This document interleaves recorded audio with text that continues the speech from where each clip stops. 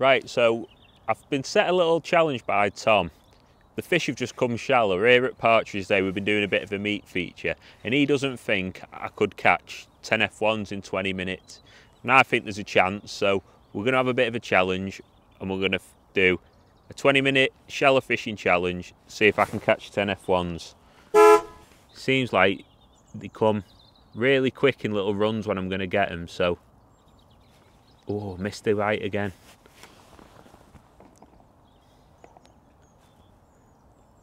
And again, might need to shallow up next time. Got one. So feed when I up one. Don't know how long that took me to get that one. But hopefully, you know, one every two minutes is what I need. I feel like I've got the chance of doing that. Make sure every fish counts, I think, as well. Nice F1, two pounder.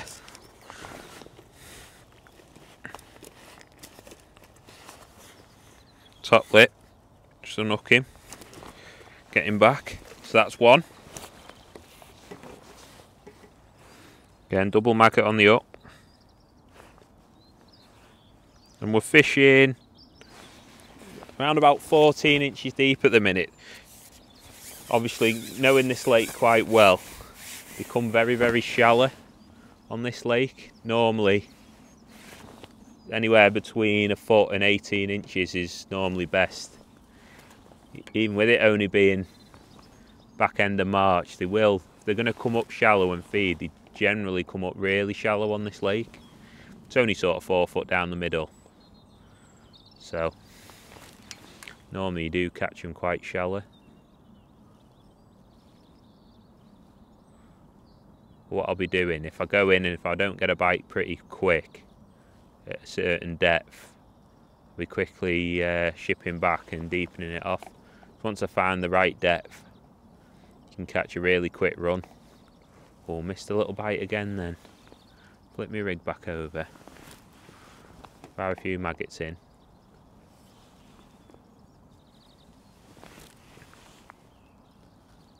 Lift and drop.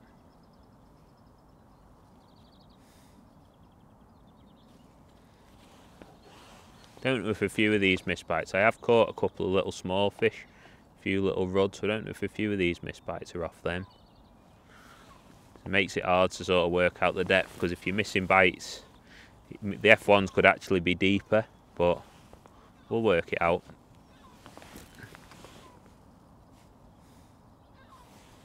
Lift and drop. Could do with it going quick here now. Tom said I'm three minutes in. So I could do with one in the next minute and it keeps me on schedule. I'm sure once I've got into the rhythm, I'll have a good little run where I catch a couple quite quick. Might even be able to catch two or three in the space of two minutes if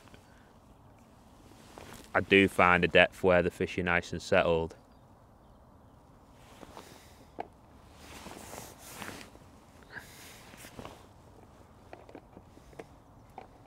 Might just quickly nip back change my depth. Feeling like that might be a good idea.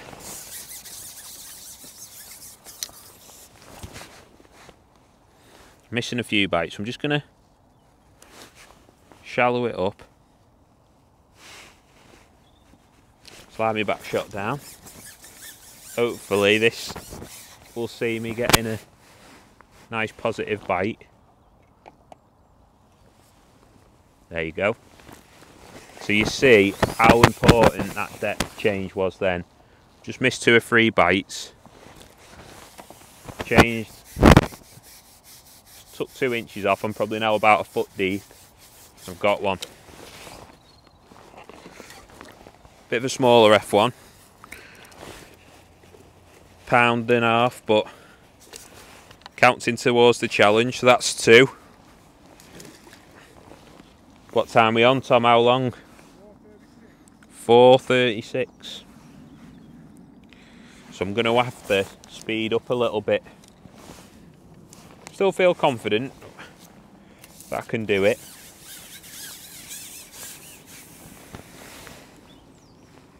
Ooh.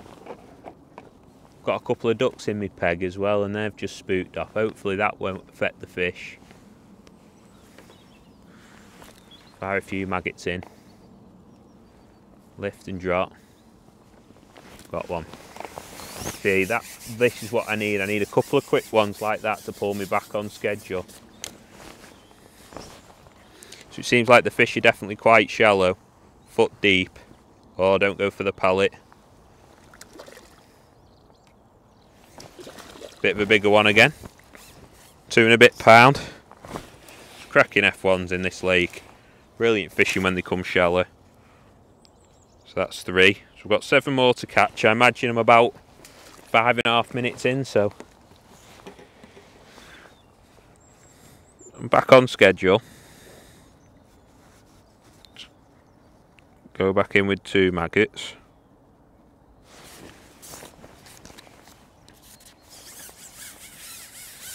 Now if I can catch them as quick as I did that chuck, then I should do it no bother. See how quick that was then. We've definitely got the depth right now.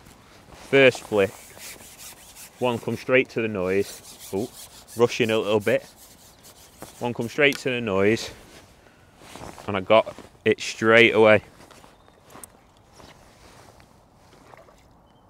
Doing my best to try and lose them under the pallet.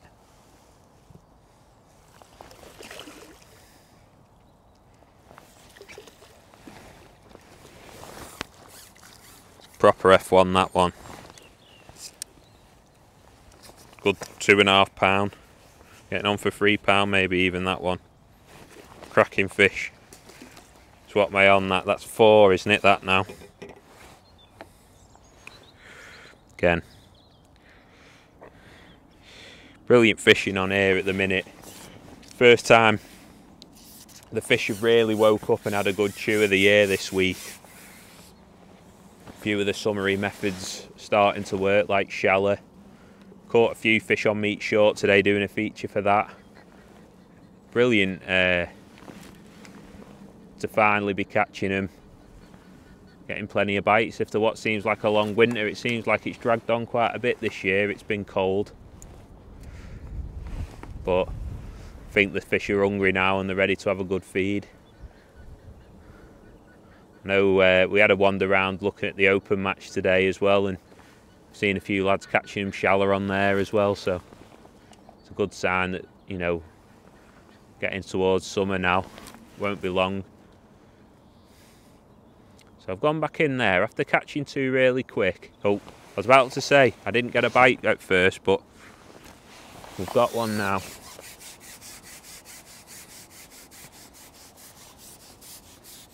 I was thinking I might have to just deepen it off a couple of inches again, but we'll stick with this depth for the meanwhile.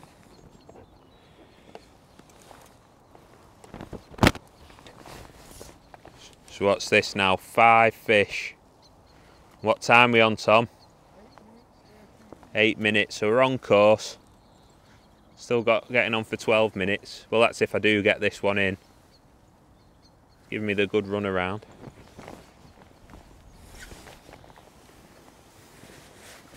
Oh, it's a belt in F1. Look at the size of him. I'm going to have to hold this one up just because he's such a, a nice fish, even with the challenge. Oh, he's giving a flip about. Try and hold him up. Got to be getting on for four pound. Belt in F1. You can see why this lake in particular at Partridge does throw up some awesome weights during the summer. Don't need many of them big F1s when you can catch them that quick like that. Catch a really big weight. So five more to catch. About 11 minutes left I'd have thought, so still on course. Keep the feed going in so they don't vanish.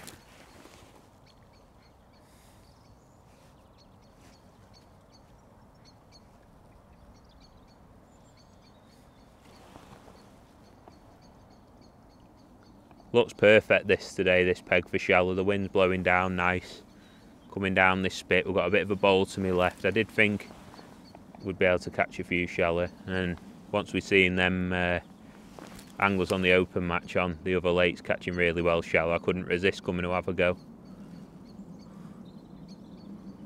So, again, I know I got one that last choke, but I do feel like, oh, every time I say I feel like I need to go deeper, it goes. 10 minutes to go. And if I get this in, that's six, so I'm well on course. Only have to get four in the second 10 minutes. Told you, Tom, I told you there was 10 to catch in 20 minutes.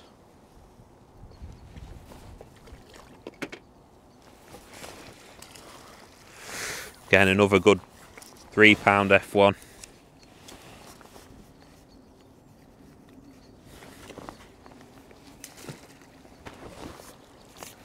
Four more to catch.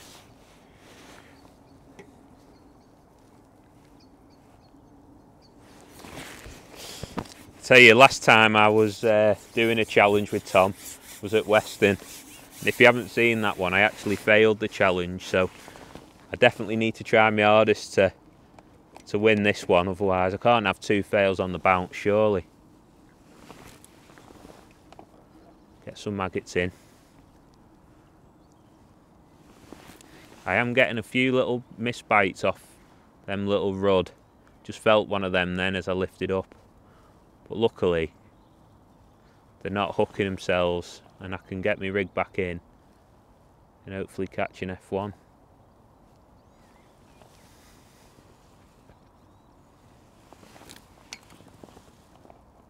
Ooh. Ooh. One of my maggots is gone. I'm going to come back so I know how important it is when you're doing this sort of fishing.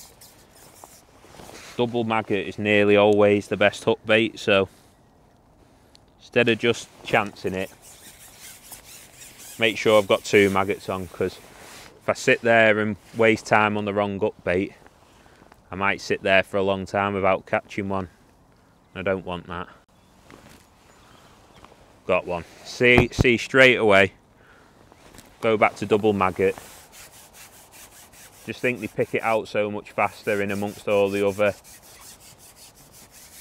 loose maggots that are falling through.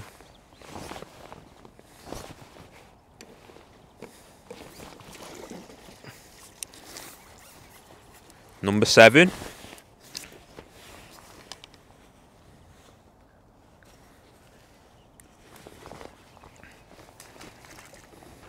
Three more to get.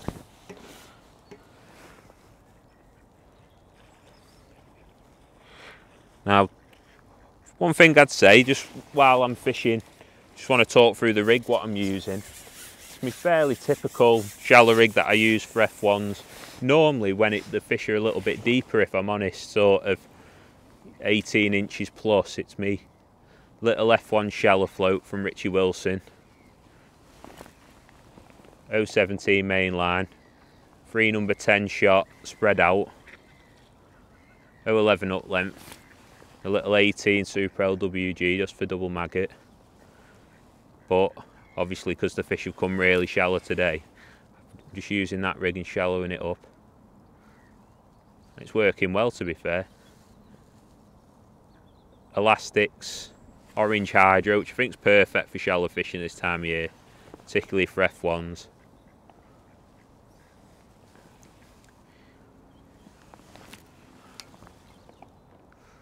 one. One little run of fish now and I'll be good. Hopefully, just getting a few little spots of rain, hopefully that's not going to kill it. Lift and drop again.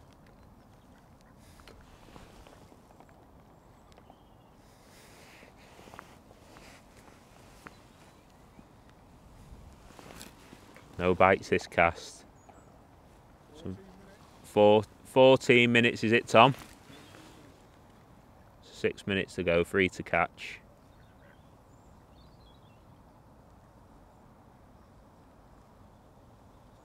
Might have to come back and go deeper again.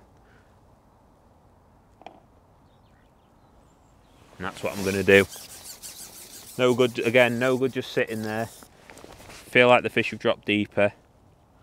Couple of inches back on. Back up to 14 inch now.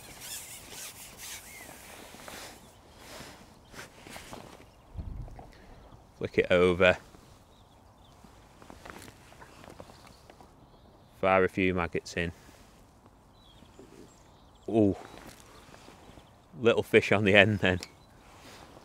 Hopefully these fish haven't deserted me just as I said that I only needed to get three more and it looked like it was on. Got one. So luckily he's going that little bit deeper. Keeping in touch with him, that's really, really important, especially when you're trying to be efficient at catching shallow. Like, if you wait a little bit longer, you might still come back with a fish, you know, a couple of inches shallower, a couple of inches deeper, but finding that perfect depth will always help you to catch faster and smoother and catch bigger weights at the end of the day. Got to get him back quick because I don't want to fail. Got to get two more. The rain's really starting to come down now. So I think get two more, hopefully complete the challenge and then we might have to go and get out the rain. Unbelievable fishing this though, just for the back end of March. You can tell now that the fish are really starting to wake up. Seeing some massive weights getting caught over the last few weeks after, you know, sort of like 10 days ago there was snow on the ground and people have been catching, you know, 200, 300 pound weights.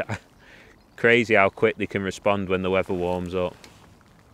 Come on, give me two more fish. Oh, missed that one.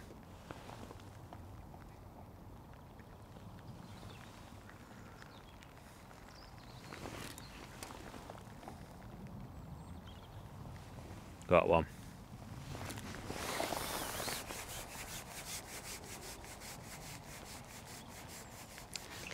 Don't want to jinx it, but actually what cost me last time, I actually lost the final fish on the whistle at Weston. So hopefully this next one, when I get it, it's going to stay on because I think otherwise it'll be tight. Number nine. What's the time, Tom? Oh, right. We've got three minutes left. That should should get one. Though again, I don't want to jinx it.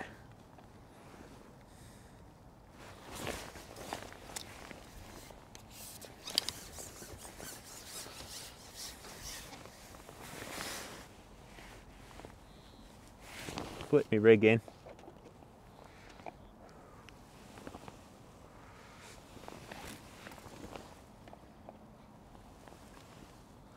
Few maggots.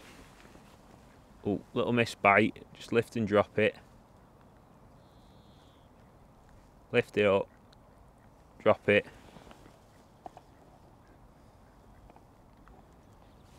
Got him.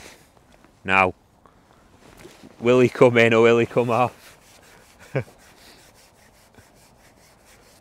Got plenty of time, but I don't want to take too long in case he does come off and then I've got to get back out and get another one. Ooh. Could have had him then. And we've got him. Number 10. Obviously, it helps to have a peg with the wind blowing down and a peg full of fish, but at least I'm glad that I've finished the challenge. Another great big golden partridge F1. What a fishery. And I'm expecting now, over these next few weeks, there'll be some massive weight starting to come out of these lakes. So I'm glad to have finished the challenge. Glad to win it after last time where I failed.